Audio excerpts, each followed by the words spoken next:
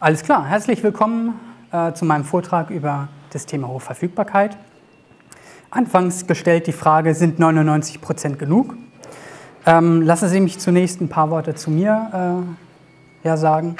Äh, mein Name ist Tim Schmeling, ich bin gebürtig aus Kiel, lebe momentan in Baden-Württemberg schon einige Zeit.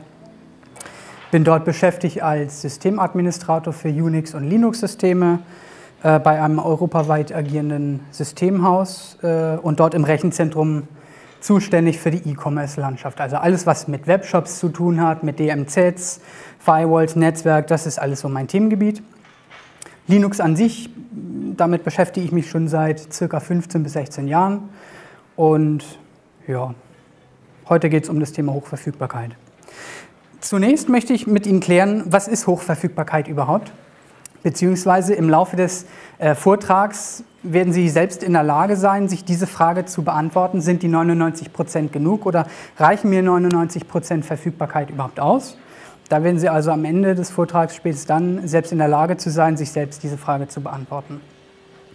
Kommen wir zunächst dazu, was Hochverfügbarkeit überhaupt ist. Grundsätzlich gilt, dass ein Dienst oder ein Service immer verfügbar sein muss oder verfügbar sein soll. Und der Dienst oder Service, das kann natürlich ja, mannigfaltig sein, das kann ein Webserver sein, ein Applikationsserver, das kann mein, E-Mail-Dienst sein oder irgendwelche, irgendwelche Systeme, die für eine, für eine Produktion äh, zuständig sind. Die müssen halt dann je nach, äh, ja, je nach Verfügbarkeit entsprechend da äh, ihre Aufgaben bewerkstelligen. Es gibt da ähm, eine, eine Formel, wie man die Verfügbarkeit berechnet, die habe ich unten einmal angezeichnet, dargestellt. Die Verfügbarkeit errechnet sich so in Prozent. Und es gibt da zwei Faktoren, die MTBF, Mean Time Before oder Between Failure, und die MTTR, die Mean Time to Repair. Und diese beiden äh, Zahlen sagen letztendlich aus. Die MTBF bekommen Sie zum Beispiel aus, aus den Datenblättern. Das ist die Zeit, ähm, von der man ausgeht, dass eine Komponente einen Fehler aufweist oder nicht mehr funktioniert. Beispiel eine Festplatte, da steht im Datenblatt drin, wann sie eventuell ausfallen kann. Nach so und so vier Stunden, das bekommt man da also super raus. Ebenso bei den Lüftern oder Netzteilen, das bekommt man da tatsächlich hin. Die MTTR sagt aus oder gibt die Zeit an, die ich brauche, um eine Komponente äh, zu reparieren, sodass der Dienst wieder äh, verfügbar ist, sodass er wieder funktionieren kann. Und anhand dieser beiden Parameter kann man tatsächlich die Verfügbarkeit errechnen das ist diese ganz einfache Formel. Die Verfügbarkeit in Prozent ergibt sich aus der MTBF geteilt durch der MTBF plus MTTR. Ganz einfach. Nochmal zum Thema Hochverfügbarkeit. Was ist das überhaupt? Grundsätzlich sagte ich ja anfangs schon, dass ein Dienst oder ein Service immer verfügbar sein soll. Ähm, das allerdings auch beim Ausfall. Man stelle sich vor, ich betreibe einen Webshop, verdiene damit also mein Geld dann ist es sehr unpraktisch, wenn der Webserver, der diesen Webshop anbietet, nicht funktioniert. Warum? Ganz klar, meine Kunden sind, sind böse, sind halt nicht, nicht gut gelaunt, weil sie nicht bestellen können und ich verdiene kein Geld. Sehr unpraktisch. Es gibt zum Thema Hochverfügbarkeit ähm, eine Tabelle, die ich hier einmal anwerfe, ähm, wo man einige Verfügbarkeiten ablesen kann. Grundsätzlich sagte ich ja eben schon, die Verfügbarkeit wird in Prozent angegeben und die kann man sehr gut berechnen. Wenn ich also meine beiden Kenngrößen habe, die MTBF und die MTTR, die ich ja, indirekt quasi selbst festlege, da kommen wir im Verlauf des Vortrags nochmal zu, ähm, kann ich also meine Verfügbarkeit entsprechend ausrechnen. Grundsätzlich sagt man, dass die Verfügbarkeit erst beginnt, ab 3,9, also 99,9 Prozent. Ab da spricht man tatsächlich erst von wirklicher Hochverfügbarkeit. Und Sie sehen ja auch, wenn ich jetzt eine Verfügbarkeit habe von, von 99 Prozent, dann darf der Dienst, den ich anbiete, pro Monat 438 Minuten ausfallen. Das entspricht ein bisschen mehr als sieben Stunden und das ist eigentlich ein Arbeitstag. Ein Arbeitstag kein Geld verdienen, das ist schon was. Summiert aufs Jahr ergibt es ein bisschen mehr als drei Tage, dreieinhalb Tage ungefähr. Und ja, ist natürlich unhaltbarer Zustand. Insofern spricht man bei 99 Prozent tatsächlich nicht von Hochverfügbarkeit. Und je nachdem, was ich für Anforderungen habe an meine Systeme oder an, an meine Dienste, muss ich dafür Sorge tragen, dass diese Verfügbarkeit entsprechend hoch ist. Das hängt immer davon ab, was biete ich an, wie lange oder wie, wie verfügbar müssen meine Systeme arbeiten und was habe ich möglicherweise, wenn ein Fehler passiert, was habe ich da für Auswirkungen? Verliere ich Geld? Kann ja durchaus sein. Ähm, habe ich einen Image-Schaden dadurch? Auch das ist möglich. Das ist immer so ein bisschen äh, Sache, je nachdem, was ich halt anbiete. Also kann man nicht, nicht pauschal sagen. Wenn wir jetzt ein bisschen weiter runtergehen, dann sehen wir hier, haben wir zum Beispiel das zweitletzte, 5,9. Das entspricht einer Ausfallzeit pro Monat von 26,3 Sekunden. Und das ist schon recht sportlich.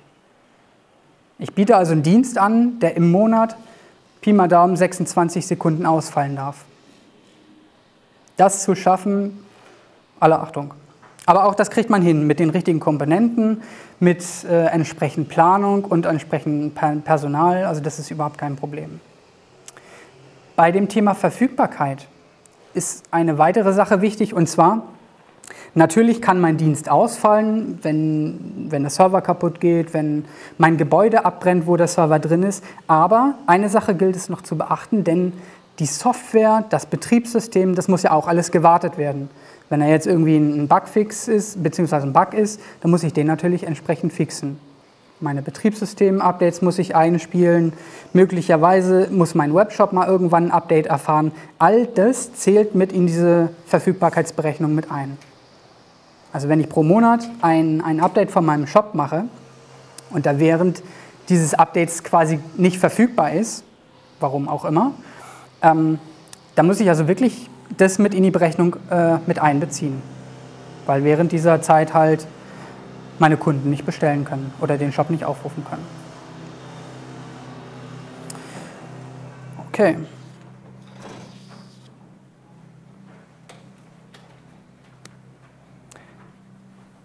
Gehen wir davon aus, dass wir einen Benutzer haben. Ich habe jetzt hier einmal die serielle Kopplung von Komponenten ange, angeworfen.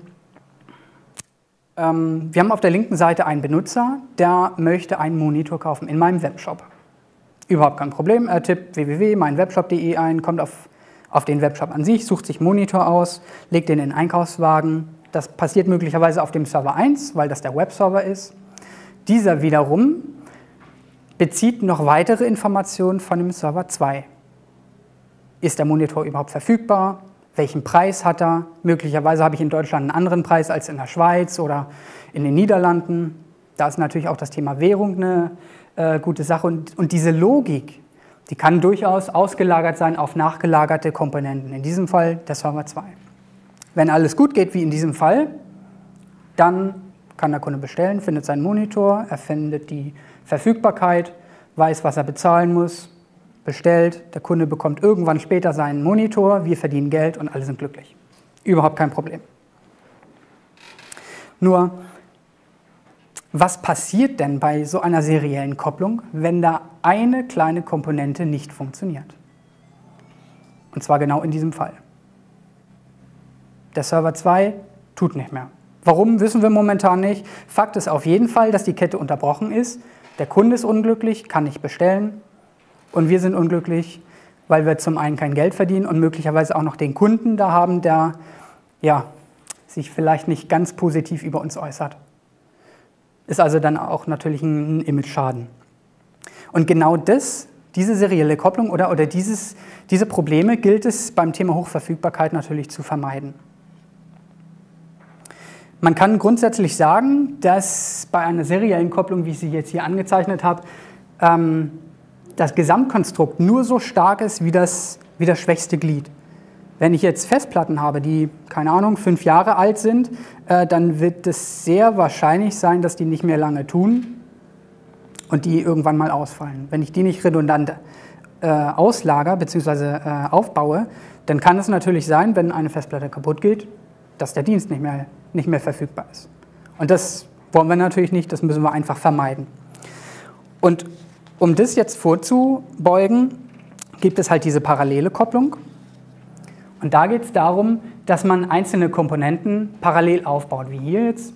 Wir haben wieder unseren Webshop, auf der linken Seite den Benutzer und wir haben unsere beiden Server. In diesem Fall ist es so, dass beide Server den gleichen Dienst anbieten, unseren Webshop. Und uns ist eigentlich egal, über welchen Weg der Kunde auf den Webshop kommt.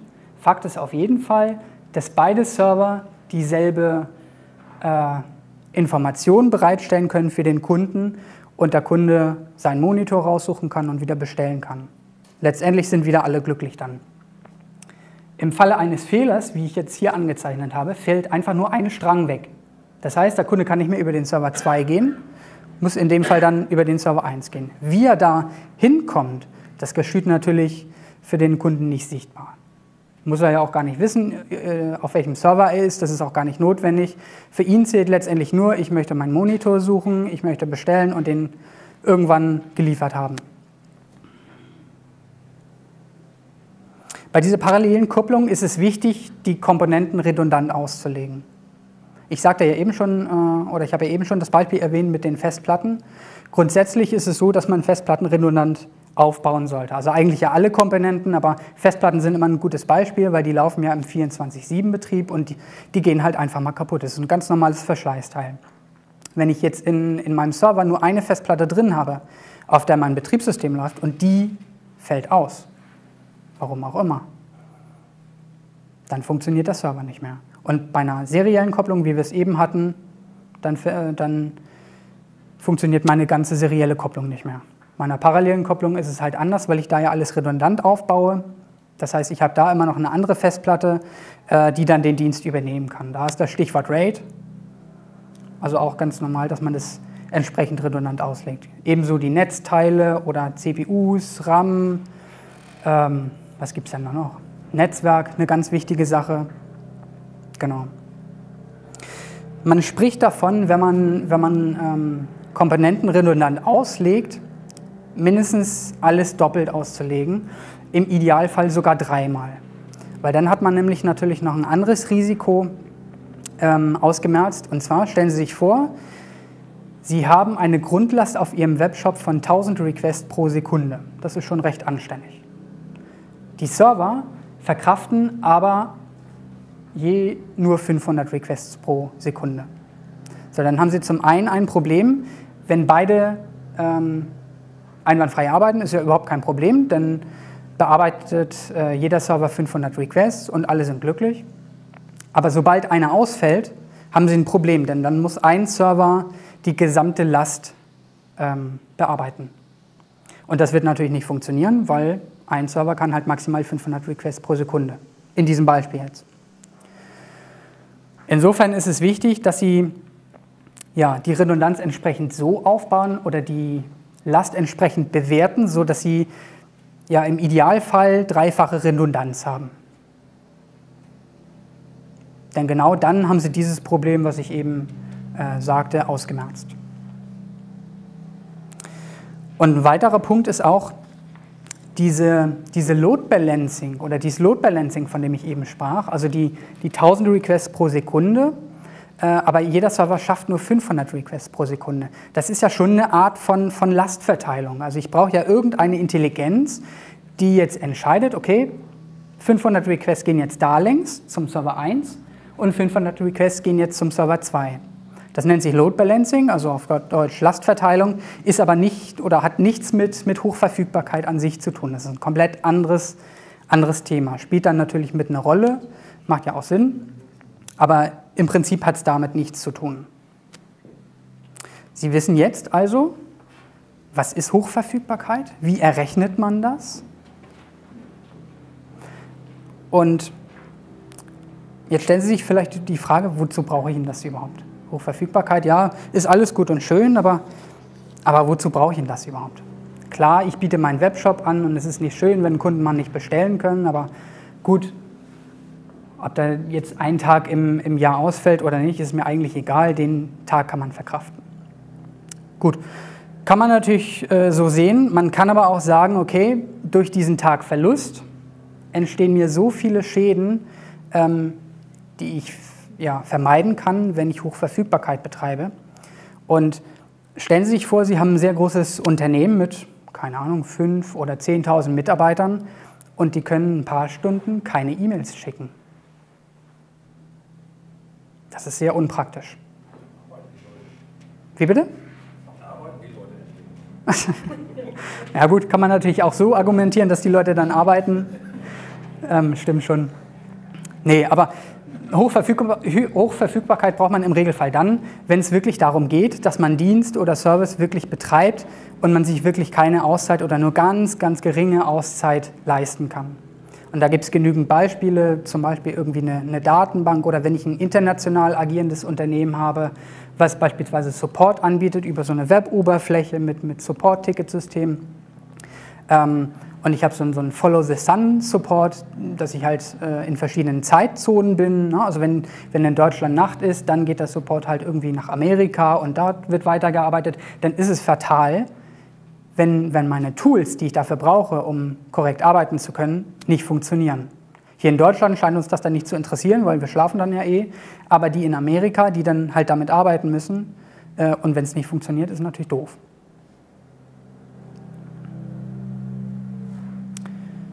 Zu den Voraussetzungen, um Hochverfügbarkeit ja, betreiben zu können oder nutzen zu können, ähm, habe ich jetzt mal so ein paar Stichpunkte an die, an die Wand geworfen. Ich gehe davon aus, ich komme eher so aus, den Rechen, aus dem Rechenzentrumsumfeld. Äh, folgedessen ist es vielleicht jetzt ein bisschen, ja, nicht, nicht aus der Luft gegriffen, aber schon ein bisschen, bisschen sportlich anzusehen. Also zu den Voraussetzungen zähle ich auf jeden Fall ein eigenes Gebäude. Ich brauche ein Rechenzentrum oder zumindest eigene Brandabschnitte wo ich meine Server unterstelle. es bringt nichts, wenn ich irgendwie eine Gartenlaube habe, da Strom reinlege und da meine, meine Server einstelle. Das macht keinen Sinn. Mm. Die Brandabschnitte brauche ich natürlich dann, oder also im Idealfall habe ich verschiedene Rechenzentren, die geografisch auch unterschiedlich äh, aufgebaut sind. Das ist der Idealfall, weil wenn an einem Gebäude irgendwas passiert, habe ich immer noch ein anderes, mit dem ich weiterarbeiten kann. So, wenn mir das jetzt aber zu teuer ist oder ähm, ich keinen anderen Standort habe, wo ich ein Gebäude errichten kann oder mieten kann, ähm, dann sollte ich zumindest dafür sorgen, dass ich verschiedene Räume habe, äh, die ich auch brandtechnisch entsprechend absichern kann. Denn wenn in, in einem Raum ein Feuer ausbricht, habe ich immer noch einen, einen, zweiten Raum oder möglicherweise auch mehrere Räume, mit denen ich äh, Notbetrieb sicherstellen kann. Es gehört für mich also tatsächlich zu den Voraussetzungen, um wirklich effektiv Hochverfügbarkeit betreiben zu können. Und natürlich kommt es da auch immer wieder darauf an, was ich denn überhaupt für Dienste oder Services anbiete. Ganz klar. Der zweite Punkt, den ich hier aufgelistet habe, ist Strom, Notstrom und USV. Klingt komisch, denn im Prinzip ist es ja alles das Gleiche. Ich brauche Strom, um meine, meine Dienste bzw. meine Server betreiben zu können, klar. Das ist die Stromleitung, die ich vom Kraftwerk bekomme. Was ist denn aber, wenn jetzt Bauarbeiten da sind und der Baggerfahrer hm, nicht ganz so vorsichtig ja, zu Werke geht und meine Stromleitung kappt? Dann ist zappenduster. Unpraktisch. Um dem vorzubeugen, ähm, gibt es halt den Notstrom, das sind im, im Prinzip sind das Dieselaggregate, große Dieselaggregate mit, mit Schiffsdieseln drin im Regelfall, die halt den Strom in der Zeit, wo ich keine, keinen Strom vom Kraftwerk beziehen kann, äh, für mich den Strom erzeugt. Und dann können Sie sich vorstellen, diese, diese Dieselaggregate oder diese Notstromgeneratoren, die laufen natürlich nicht permanent. Die laufen oder fahren halt nur dann an, wenn ich sie auch tatsächlich brauche. Und Sie können sich vorstellen, dass der Zeitpunkt, von dem ich ja, keinen Strom bekomme, wenn der Bagger also mein Kabel durchbaggert, bis der Notstromdiesel anläuft, dass das schon eine gewisse Zeit braucht. Also im Regelfall sind das wenige Sekunden, im Idealfall. Kann aber auch schon mal bis zu ein, zwei Minuten dauern. So, während dieser Zeit habe ich faktisch keinen Strom. Was passiert mit den Servern? Funktioniert nicht. So, und innerhalb dieser Zeit habe ich also keine Verfügbarkeit, und habe natürlich dann auch wieder meine Einbußen. Um diese Zeit zu überbrücken, gibt es die USV, das ist die unterbrechungsfreie Stromversorgung. Im Prinzip sind das ganz große Batterien bzw. Akkus, äh, die für die Zeit, bis der Notstromdiesel äh, einspringt, letztendlich die Energie für mein, für mein Rechenzentrum, äh, für meine Server letztendlich zur Verfügung stellt. Halt bis der Schiffsdiesel oder Notstromdiesel angelaufen ist, denn dann produziere ich meinen Strom ja quasi selbst. Ganz wichtig ist bei der Sache natürlich auch noch zu erwähnen, diese Notstromdiesel oder diese Notstromaggregate, ähm, die funktionieren natürlich nicht einfach so oder mit Strom funktioniert sie natürlich auch nicht, weil sie wollen ja Strom erzeugen. Im Regelfall ist das halt so ein, so ein Diesel, so ein, so ein, Schiffsdiesel, der natürlich auch einen Tank hat. Und da, das ist auch schon mal vorgekommen, ähm, müssen Sie natürlich dafür sorgen, dass der Tank entsprechend gefüllt ist. Weil wenn nicht, dann springt er entsprechend nicht an. Und äh, das ist natürlich dann, ja, ich habe dann zwar Notstromdiesel, kann ihn aber nicht nutzen, weil er nicht funktionieren kann.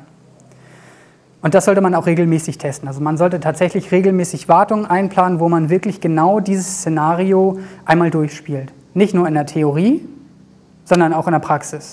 Denn dann sind sie auf der, auf der sicheren Seite und können wirklich äh, kompetent beurteilen, okay, alle Komponenten in meiner Kette funktionieren. Und genau dann sind sie auch in der Lage, ihren Kunden gegenüber zu sagen, okay, es ist gut, dass du bei uns bist, vertrau uns, es funktioniert alles. Wir haben es letztens erst getestet, da und da ist das Testprotokoll. Ein weiterer Punkt ist das Thema Klimatechnik. Jeder, der schon mal irgendwie mit Servern zu tun hatte oder gar schon mal im Rechenzentrum war, der weiß, das wird verdammt warm dort, wenn man keine Klima hat. Denn die Server produzieren entsprechend Abwärme. Das kennt man vielleicht vom PC oder vom Notebook. Mittlerweile geht das so einigermaßen. Früher wurden die ziemlich warm. Hm, mittlerweile hat sich da auch einiges getan. Dennoch müssen die äh, Brandabschnitte oder die Rechenzentren, meine Räume, wo ich die Server betreibe, entsprechend gekühlt werden. Denn sonst überhitzen die irgendwann und quittieren ihren Dienst. Und da gilt es dann entsprechend zu bewerten, wie viele Server habe ich denn überhaupt, was für eine Wärme wird da produziert, was für eine Abwärme. Und können meine Klimageräte diese Abwärme entsprechend auffangen, sodass eine wirklich konstante Temperatur, eine konstante Arbeitstemperatur für meine Geräte und Devices gewährleistet ist. Und auch die Klimatechnik. Stellen Sie sich vor, Sie haben jetzt einen, einen Raum, mit einem Klimagerät und das fällt aus. Dann dauert das keine fünf Minuten, bis die Temperatur rapide ansteigt und nach und nach quittieren Ihre Server die Dienst, weil sie einfach zu warm werden. Denn auch die Klimatechnik, denn auch da gilt es, äh, dass Sie die redundant auslegen. Und da gibt es, da müssen Sie einfach mal ja, mit denjenigen sprechen, der, äh, die, also mit, mit der Firma sprechen, die das bei Ihnen dann entsprechend macht. Ähm, da gibt es natürlich auch verschiedene Techniken und da sollten Sie entsprechend äh, ja, eine Technik wählen, die auch energieeffizient ist.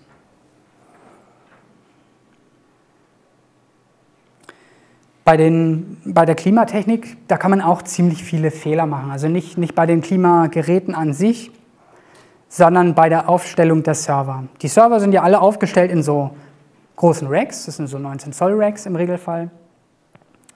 Da sind dann meine Server drin, meine Switche, Router und was ich nicht alles habe. Und im Regelfall funktioniert so ein Server so, dass der vorne die kalte Luft ansaugt durch seine Komponentenschleus, CPU, Festplatten und was ich da nicht alles drin habe und hinten die warme Abluft wieder rausbläst. Wenn ich meine Racks jetzt so aufstelle, dass ich hier ein Rack habe, von hier kommt die kalte Luft, hier kommt die warme Abluft raus und hier gleich das nächste Rack saugt es schon gleich die warme Abluft wieder an, wo die kalte Luft eigentlich erwartet wird. Und das ist natürlich fatal. Da sollte man natürlich auch entsprechend ähm, ein bisschen Gehirnschmalz investieren, damit man das, den Raum oder das Rechenzentrum entsprechend plant und die zum Beispiel entgegengesetzt hinstellt. Ja, ich habe wieder meine, meine beiden Racks. Ähm, hier kommt die kalte Luft, ganz normal, wird angesogen, die warme Abluft wird rausgeblasen und das andere Rack stelle ich genau einmal umgedreht hin sodass die kalte Luft von der anderen Seite angezogen wird und dann quasi so einen, so einen Kalt-Warm-Gang habe. Da gibt es auch verschiedene ja, Mechanismen oder, oder äh, Dinge, die, die man machen kann oder Aufstellmöglichkeiten, äh, ähm, dass man zum Beispiel wirklich so einen Kalt-Warm-Gang hat, die wirklich voneinander abgeschottet sind, wo also wirklich fast keine Berührung äh, zwischen Kalt- und Warmluft ist. Das ist, hängt aber auch davon ab, wie die örtlichen Gegebenheiten sind. Also da gibt es auch keine pauschale Regelung, das muss man immer von Fall zu Fall sehen. Nicht minder wichtiger Punkt ist das Thema Internet, weil irgendwie wollen Sie ja einen Dienst oder einen Service anbieten. Möglicherweise auch nach außen ins Internet, gerade beim Thema Webshop. Die Kunden sollen ja irgendwie bestellen und das funktioniert übers Internet.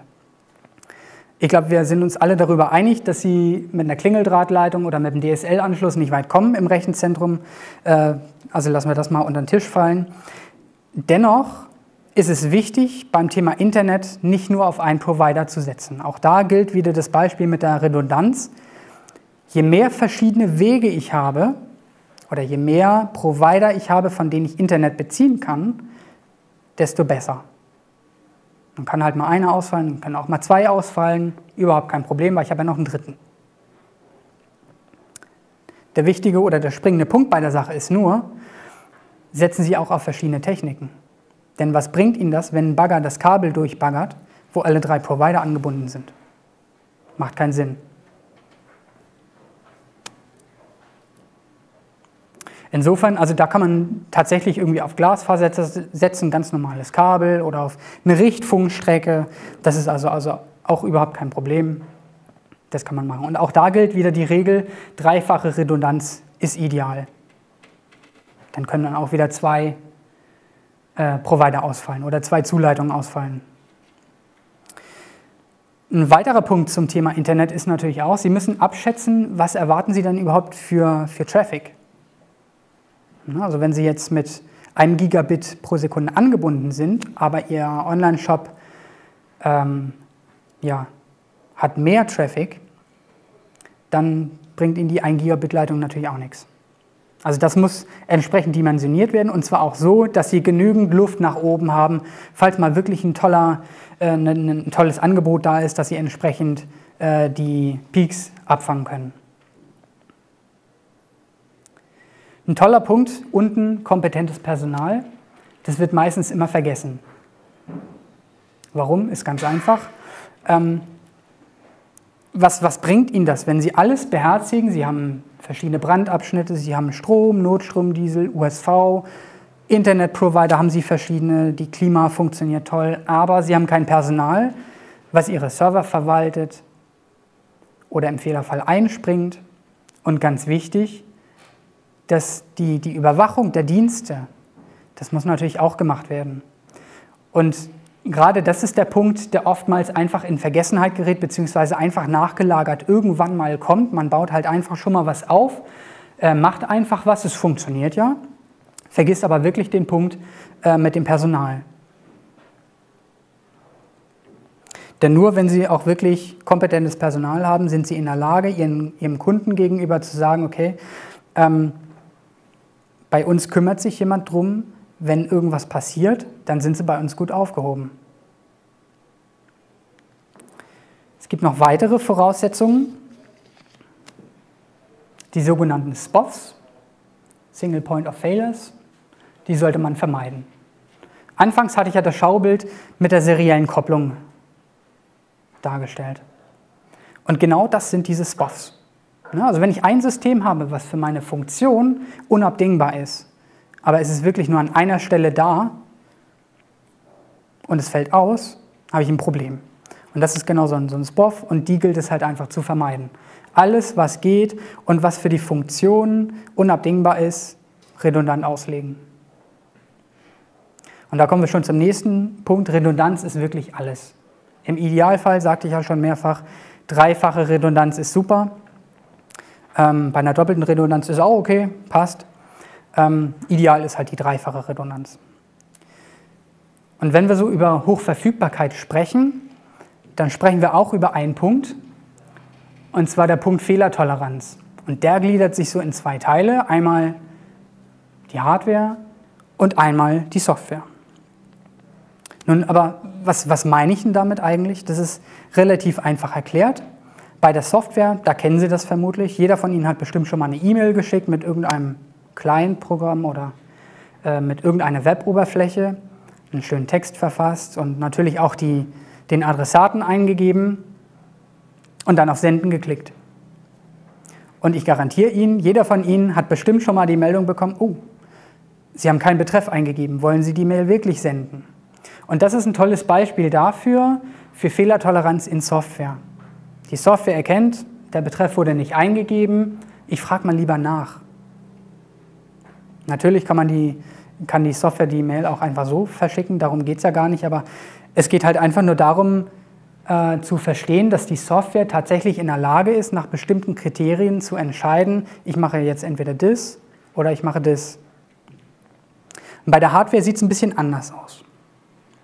Stellen Sie sich vor, Sie haben einen Server mit redundanten Netzteilen und ein Netzteil fällt aus. Dann haben Sie in dem Server selbst eine Schaltung, das ist Hardware, die dafür sorgt, ähm, ja, zu überprüfen, ob beide Netzteile soweit in Ordnung sind. Wenn beide funktionieren, ist okay, dann wird an, anhand von irgendwelchen Algorithmen eins äh, herausgesucht, was halt die Stromversorgung übernimmt. Und wenn genau das halt ausfällt, sorgt die Schaltung dafür, dass das andere genommen wird. Also das ist diese Fehlertoleranz in der Hardware.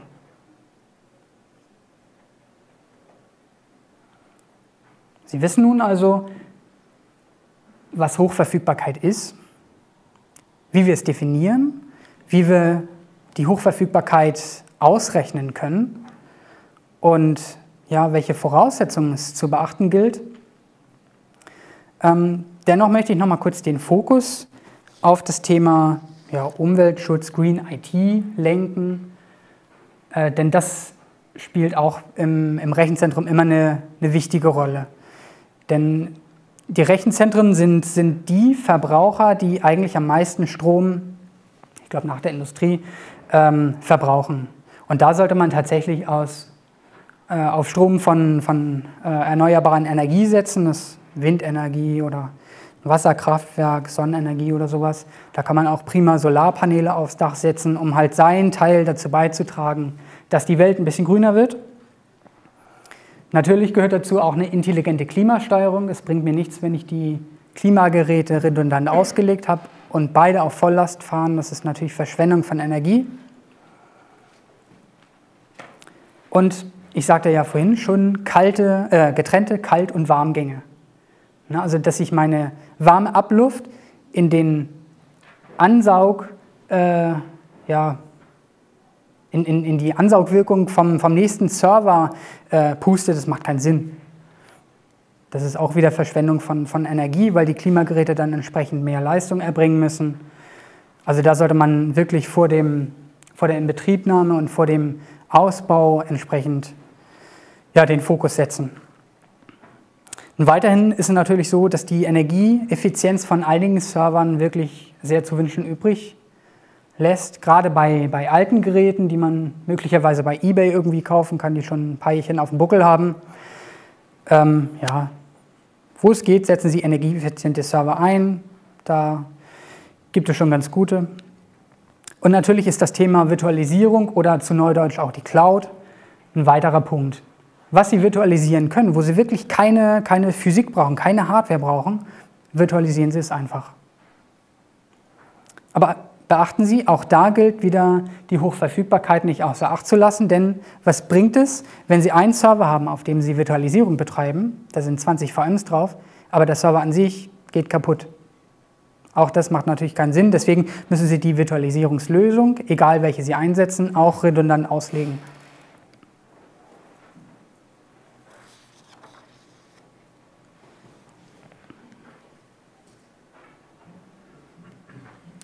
Das Thema Netzwerkstruktur ist eigentlich so ein Thema, ja, was eigentlich nur so tatsächlich Netzwerke an, angeht. Also eigentlich ähm, vielleicht nicht ganz in den Vortrag passt. Dennoch habe ich es mit aufgenommen.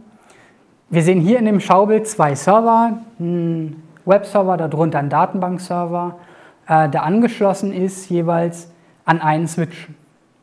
Und der wiederum eine Verbindung hat zur Firewall, zur Außenwelt, damit die miteinander kommunizieren können, ähm, zum Beispiel mit unseren Kunden. Was passiert nun aber, wenn der Switch kaputt geht?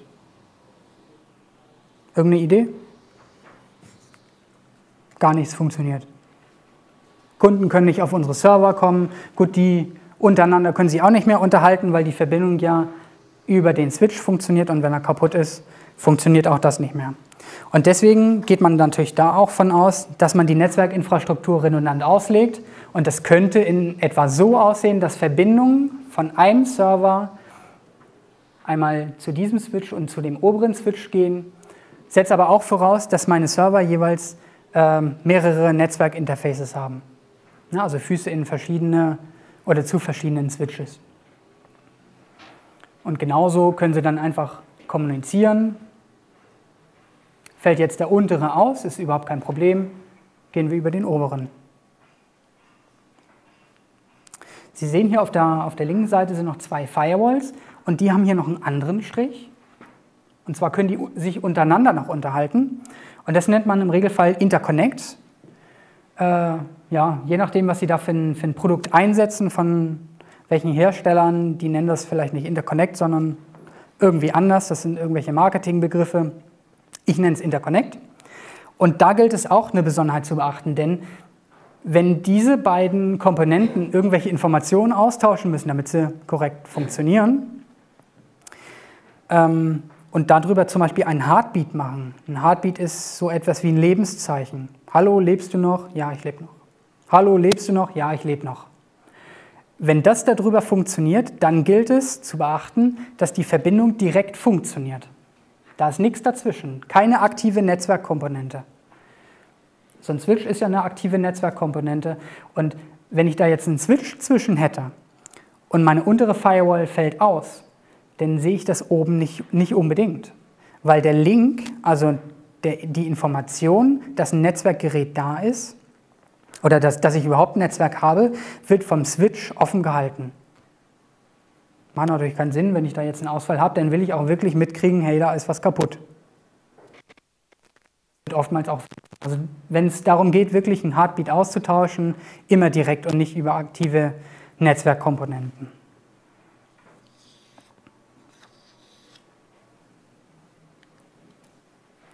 Das Thema Monitoring wird auch oft ja, vergessen will ich nicht sagen, aber auf jeden Fall vernachlässigt. Denn was nützt es mir, wenn ich meine ganzen Überlegungen hinsichtlich Hochverfügbarkeit super ausgedacht habe und mein Rechenzentrum gut geplant habe, aber letztlich nicht weiß, wie geht es meinen Servern überhaupt? Funktionieren die? Können Kunden bestellen? Habe ich Einnahmen? Was ist mit meiner Datenbank? Sind da Preise drin? Wie sieht es aus mit den Verfügbarkeiten? All das muss ich natürlich monitoren. Ich muss darüber Bescheid wissen, was auf den Servern passiert und ich muss Bescheid wissen, wenn etwas nicht funktioniert oder wenn etwas droht auszufallen. Sie setzen sich ja auch nicht so ins Auto und fahren einfach wild drauf los. Das ist ein gutes Beispiel. Überwachen Sie die Hardware, die Sie überwachen können. Dazu gehört auf jeden Fall die Temperatur, damit meine ich jetzt nicht irgendwie die Temperatur von der CPU, wobei das natürlich auch interessant ist, aber ich meinte da eher die Temperatur vom, vom Rechenzentrum oder vom, vom Raum an sich, wo die, wo die Geräte stehen. Denn wenn Sie da auf einmal einen Anstieg von 5 oder 10 Grad haben, dann können Sie mit Sicherheit davon ausgehen, dass da irgendwas nicht stimmt. Vielleicht hat die Klimaanlage irgendwie einen Defekt oder irgendwas anderes ist da passiert. Oder ich habe vielleicht ganz viele neue Server in Betrieb genommen und meine Klimaleistung reicht nicht mehr aus. Kann natürlich auch sein. Genauso gut die Festplattendefekte, auch die müssen Sie natürlich monitoren. Sie müssen darüber Bescheid wissen, okay, mein Betriebssystem kann jetzt nicht mehr, nicht mehr funktionieren, weil eine, eine Festplatte defekt ist. Das müssen Sie einfach wissen. Und dazu gehört natürlich nicht nur zu wissen, dass irgendwas kaputt ist oder kaputt geht, sondern Sie müssen auch dafür sorgen, dass Sie das relativ schnell oder in relativ kurzer Zeit ähm, fixen können, also austauschen können.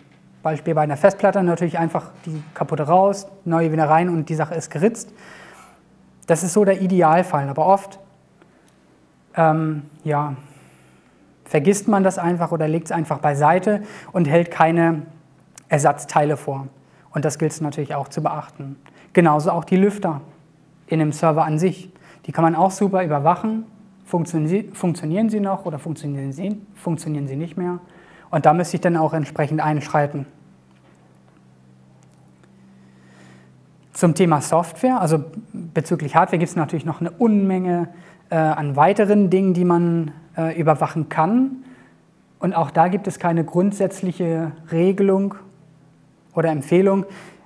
Ich persönlich rate Ihnen, das, was Sie überwachen können, überwachen Sie das einfach und ähm, im späteren Verlauf, also auf der nächsten Folie, kommen wir nochmal auf das Thema Alerting äh, zu sprechen. Und da gilt es natürlich wirklich ja, auszuloten, was ist denn überhaupt wichtig für mein Business, was ist wichtig für meine Funktion. Ähm, da macht es natürlich keinen Sinn, irgendwelche Meldungen mit anzugeben, die mich überhaupt nicht tangieren. Also wenn jetzt ein Lüfter ausfällt, okay, ist nicht schön, aber der Webshop wird weiterlaufen. Also wenn sie redundant ausgelegt sind, die Lüfter. Und auch die Software müssen Sie überwachen. Denn was bringt Ihnen das, wenn Sie wissen, okay, meine Hardware weist einen Defekt auf, ich muss die Festplatte austauschen.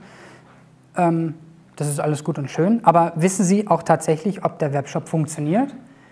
Werden die Produkte angezeigt, die Verfügbarkeiten, die Preise? Können die Kunden überhaupt bestellen? Und wenn eine Bestellung reingeht, wird diese Bestellung auch weitergeleitet an mein Warenwirtschaftssystem? Werden da entsprechende Workflows aktiviert, die dazu führen, dass der Kunde auch wirklich seinen Monitor bekommt. Diese ganzen Dinge gilt es natürlich auch zu überwachen. Und je nach Anwendungsfall, Webshop ist halt nur ein Beispiel, das müssen Sie auf Ihr Anwendungsszenario projizieren. Je nachdem, was Sie für eine Anforderung haben, müssen Sie entweder das eine oder das andere monitoren. Weil es bringt nichts, wenn Sie beispielsweise einfach nur den Server anpingen dann wissen Sie, okay, er ist erreichbar, wenn er antwortet, aber ob der Webshop funktioniert oder ob E-Mail funktioniert, kriegen Sie damit nicht raus. Und deswegen ist halt wichtig, dass Sie die, ähm, die Arbeit, also die, die, das Ergebnis von, von, von Ihrer Prüfung auch entsprechend interpretieren. Und das ist hier unten mit gemeint, arbeitet der Dienst korrekt. Weil es bringt nichts, wenn Sie einfach nur abfragen, okay, der Webshop da kommt jetzt mein Webshop, aber alles, was dahinter ist, die Bestellung, Verfügbarkeiten und, und all sowas, ähm, das müssen Sie natürlich auch entsprechend monitoren und im Blick haben. Ganz wichtig. Wenn Sie das jetzt alles so eingerichtet haben, dann kann man Ihnen erstmal gratulieren, weil dann haben Sie es richtig gut aufgesetzt. Sie wissen auf jeden Fall, was Hochverfügbarkeit ist. Sie haben es aufgesetzt, klar. Sie haben das Monitoring aufgesetzt, wissen also, ob eine Komponente ausgefallen ist. Sie wissen, dass Ihre Software entsprechend das tut, was sie tun soll. Und wenn sie es nicht tut, was dann? Das Monitoring bringt nichts, wenn keiner drauf schaut. Kann noch so toll sein, aber es bringt halt einfach nichts.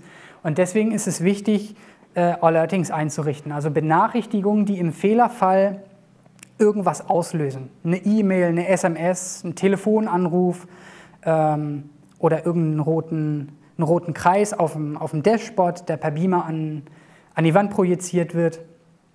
All das ist wichtig, weil es bringt nichts, ein Monitoring zu betreiben, wenn, wenn sich keiner darum kümmert und sich keiner dafür verantwortlich fühlt, äh, zu schauen, ob alles in Ordnung ist und möglicherweise eine Eskalation einzuleiten oder eine Komponente auszutauschen.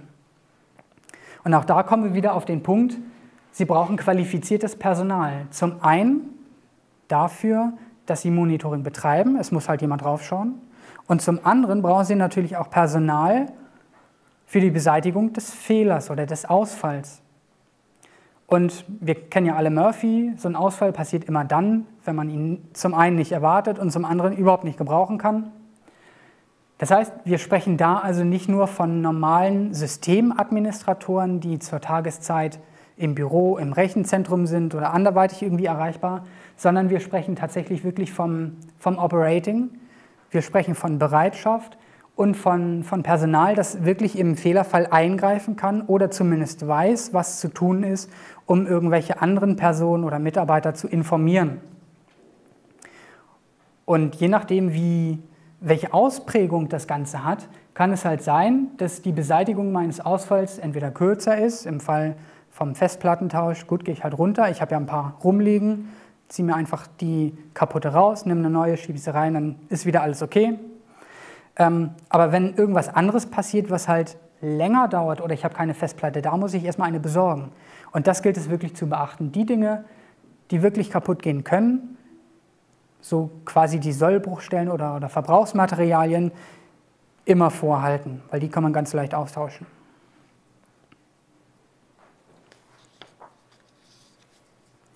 Wenn wir über Hochverfügbarkeit reden, und das machen wir ja jetzt schon ungefähr eine halbe Stunde, eine Dreiviertelstunde, dann kommt unweigerlich auch das Thema Clustering mit ins Spiel. Aber Obacht, Clustering ist nicht Hochverfügbarkeit. Natürlich spielt es mit einer Rolle, ganz klar, ähm, aber es ist nicht, nicht das Gleiche. Und das wird oftmals verwechselt. Beim Clustering haben wir verschiedene Möglichkeiten, Clustering zu betreiben. Wir haben Aktiv-Passiv-Systeme, wir haben Server A und Server B. Und wenn der Server A, also die prinzipiell bieten die dieselben Dienste an, und wenn der Server A kaputt geht, übernimmt der Server B den Dienst und der Kunde bekommt davon nichts mit. Das ist diese Aktiv-Passiv-Systemregelung. Daneben gibt es natürlich auch Aktiv-Aktiv-Systeme, also wirklich Systeme, die zur gleichen Zeit aktiv sind, also zur gleichen Zeit wirklich die gleiche Aktion durchführen können oder denselben Dienst anbieten können.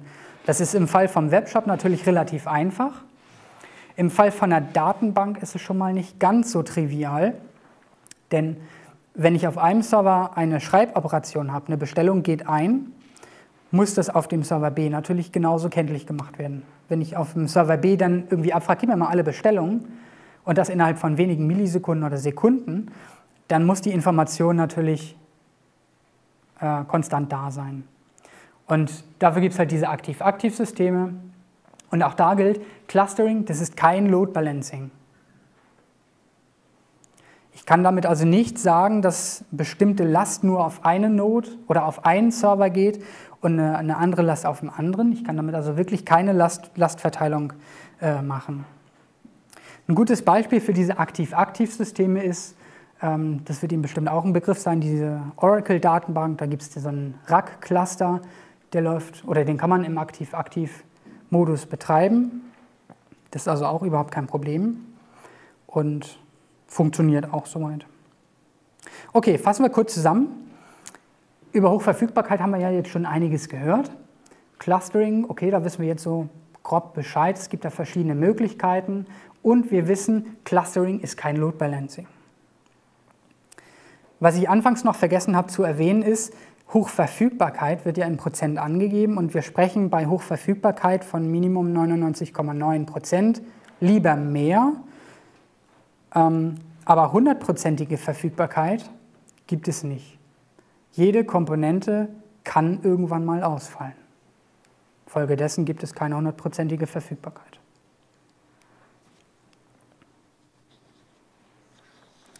Möchte Ihnen nur noch kurz ein Schaubild zeigen, wie das Clustering in der Praxis funktioniert.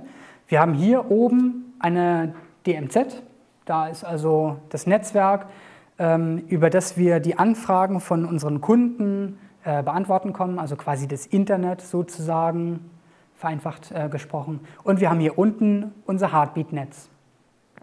Das Heartbeat-Netz, sagte ich ja anfangs schon, ist dafür da, um diese Lebenszeichen, also lebst du noch? Ja, ich lebe noch. Lebst du noch? Ja, ich lebe noch. Auszutauschen. Und in diesem Fall haben wir zwei Server, Server A und Server B, die jeweils eine eigene IP-Adresse und eine MAC-Adresse haben.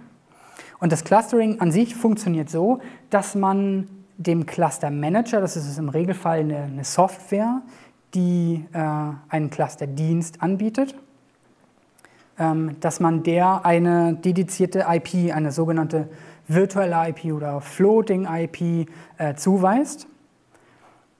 Das heißt, wir haben dann also drei verschiedene IP-Adressen, weil jeder Server hat ja eine eigene und der Cluster an sich hat eine, eine IP-Adresse.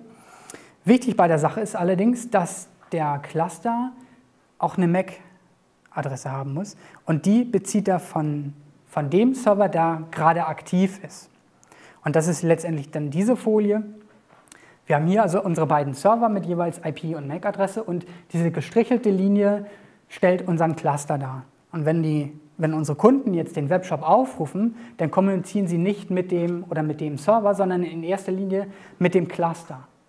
Und der Cluster hat dort oben halt seine eigene IP-Adresse, diese virtuelle oder Floating IP. Und je nachdem, welcher Server aktiv ist, die MAC von der oder von, von dem oder von dem Server.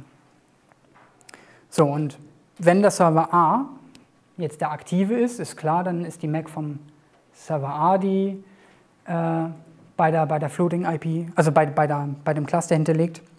Und wenn der jetzt ausfällt, dann sorgt der Cluster Manager, also die Software, die das Ganze ähm, verwaltet, dafür, dass der Dienst, so dass man das nicht mitbekommt, auf den Server B wandert. Also das mit dem nicht mitbekommen ist natürlich nicht ganz so richtig, weil wir wollen es ja schon mitkriegen, wenn da sich irgendwas ändert, denn nicht ohne Grund ändert sich ja irgendwas. Also es hat ja schon irgendeine Bewandtnis, dass ein Dienst von Server A auf Server B wechselt und wir wollen das natürlich wissen. Aber die Kunden, denen ist es egal, auf welchem Server sie sind, sie wollen einfach nur, dass sie ihren Monitor bestellen können.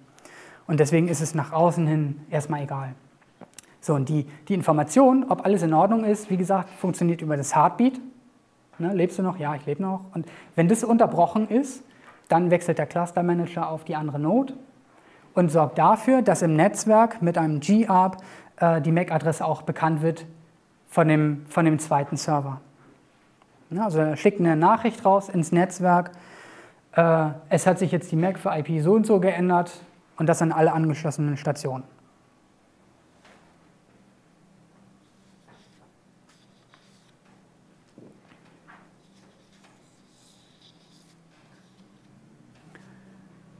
Okay, ich sehe, die Zeit ist schon relativ weit fortgeschritten.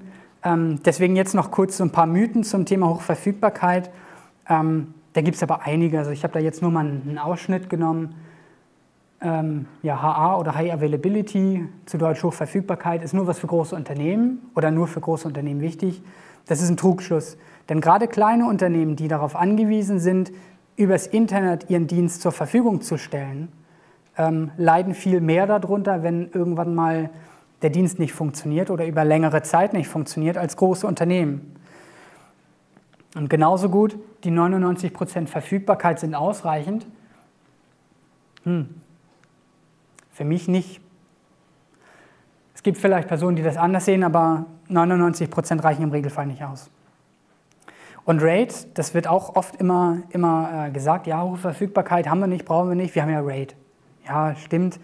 RAID spielt damit eine Rolle, ähm, aber RAID ist keine Hochverfügbarkeit. Ist natürlich notwendig und wichtig, klar, aber ähm, ohne geht es auch nicht. Aber wie gesagt, RAID ist kein, keine Hochverfügbarkeit. Und bei der ganzen Sache beachten Sie auch, dass Sie einen Disaster Recovery Plan haben. Also wenn Ihr, Ihr Dienst oder Ihr Server nicht funktioniert und Sie müssen nicht nur ein Backup wiederherstellen, sondern das gesamte System an sich, dann brauchen Sie ein funktionierendes Disaster Recovery Konzept. Das gilt es natürlich auch im Vorwege zu evaluieren. Was sind meine Anforderungen? Wie kann ich es entsprechend umsetzen? Welche Tools äh, gibt es auf dem Markt? Wie kann ich es umsetzen? Backup spielt da auch ein bisschen mit rein. Da geht es aber eher um die Bewegungsdaten. Also ähm, meine Datenbank zum Beispiel, die ganzen Produktinformationen, die ich habe oder meine E-Mails beispielsweise. Das sind alles so Bewegungsdaten, die notwendig sind, um den Dienst äh, zu betreiben. Und ja, das Standby ist natürlich auch kein, keine Hochverfügbarkeit. Wenn ich ein Ersatzsystem dahin stelle und es letztendlich noch einschalten muss, äh, im Fehlerfall, damit der Dienst wieder funktioniert, das ist zwar alles gut und schön, sollte man auch haben, wenn man keinen Cluster hat oder keine wirklich hohe Verfügbarkeit, aber letztendlich ist es, ist es keine Hochverfügbarkeit und es wird auch, wird auch nicht annähernd so an die Verfügbarkeiten äh, rankommen, als wenn man das wirklich super aufbaut, wie ich anfangs gesagt habe. Die letzte, der letzte Mythos, HA ist teuer. Hm. Ja, es kostet Geld und ja, es ist nicht trivial aufzusetzen und Durchaus kann man auch der Meinung sein oder die Meinung vertreten, dass es teuer ist. Eine pauschale Regelung hierzu kann ich Ihnen auch nicht geben. Gehen Sie in sich, was biete ich für einen Dienst an? Wie viel Geld verliere ich, wenn er nicht verfügbar ist? Und stellen Sie das in Relation zu dem Aufwand, zu den Ressourcen, zu den Kosten, ganz wichtig, ähm, die Sie investieren müssen für Hochverfügbarkeit.